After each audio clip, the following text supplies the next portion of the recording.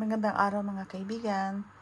Ngayon po, gagawa na naman ako ng pangmeryenda na puto pao. Ayan, puto pao. Kaya ito pong mga sangkap natin. All-purpose flour, tubig, asukal, cooking oil, isang itlog, baking powder, tsaka asin. Tsaka itong palaman natin na ito, asado, tsaka itlog. Kaya, ayan lang po.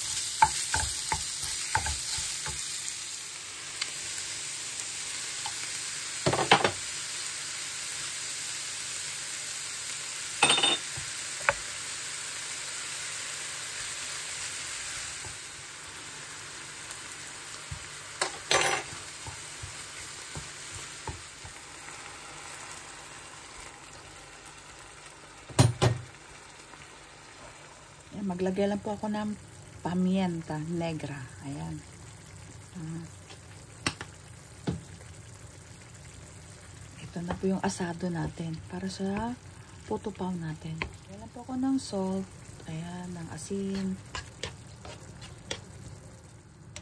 Ito po cornstarch. Maglagay lang po tayo ng ano. Pampalapot lang sa asado natin po itong ano natin ha. Cornstarch natin. Ayan, palapot.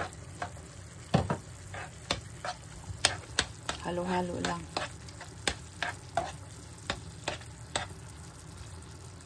Ayan, luto na po ito. Transfer ko na siya dito.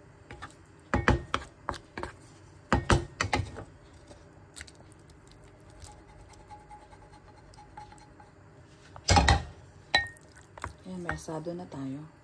Ayan, mag-mix na po tayo ha. I-mix ko lang itong itlog. Oil natin. Tsaka yung water natin. Ayan, napakasimpleng ano lang po ito, yung puto pao. Puto lang siya. Kaya lang may ano ito palaman.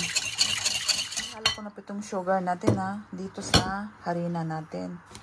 Sugar, salt, at saka itong baking powder natin. Ayan. 1 tablespoon baking powder. Ayan.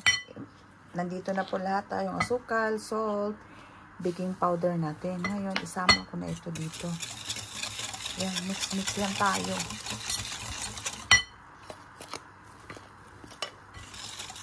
Ayan, ito na po siya ha. Ayan na siya oh. Ito na siya. Ito po yung paglagyan ko. Maliliit lang ito. Eh, maglagay na po tayo. Isang tablespoon lang. Ayan mo, magpalaman na po tayo. Ganito lang siya kaliit, oh. Ganyan lang. Lalagay natin. Ganyan lang. Konti lang siya. Ayan. Magtakip na po tayo. Takpan lang natin ng ganyan.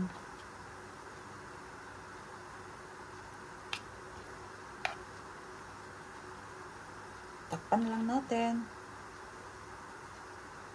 Ayan lang siya.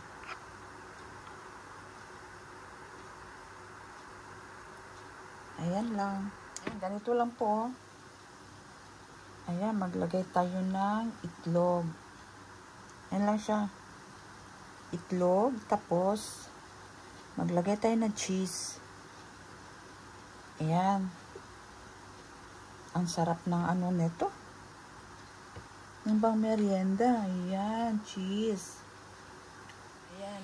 I-steam ko po ito ng ah, uh, ko, nang nang nang nang 15 minutes, 15 minutos. Buksan ko na po ah. Ayan. Wow. O, tingnan nyo ang puto paw natin. Ay, ang sarap.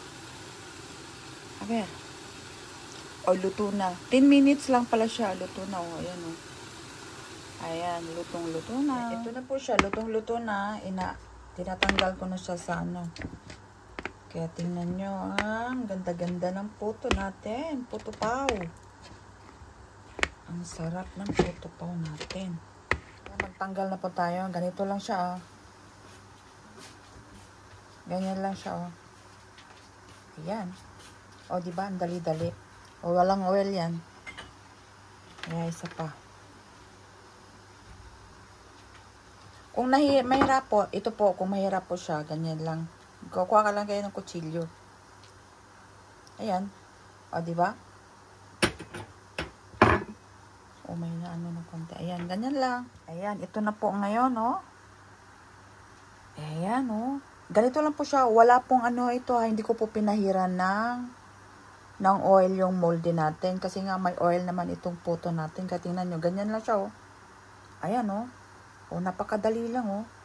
Hindi siya dumidikit, kaya hindi na kailangan ng ano. Hindi na kailangan ng oil dito sa molde. Ayan, tingnan nyo, oh. Wow! Kaya ito ang perfect na puto, pao. Ayan siya, oh. Ayan, tingnan natin ang loob. Ayan.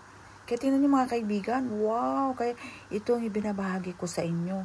Napaka, ano, kasi nagluto po ako nito kahapon. Kaya napakasarap po talaga. Kaya ito ang sinishare ko sa inyo. Ang sarap po na pambenta nito. Kaya tingnan nyo, oh. Kaya, ayan. Kaya tikman na lang natin. Hmm. Ay, grabe. Ay, grabe. Ang sarap po talaga. Hmm? Ang lambot-lambot niya. Tama lang po yung tamis niya.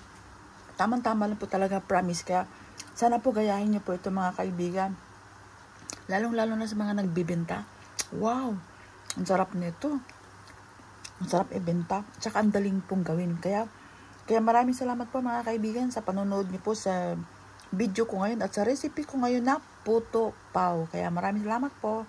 God bless po sa ating lahat at enjoy cooking lang po tayo mga kaibigan. Bye!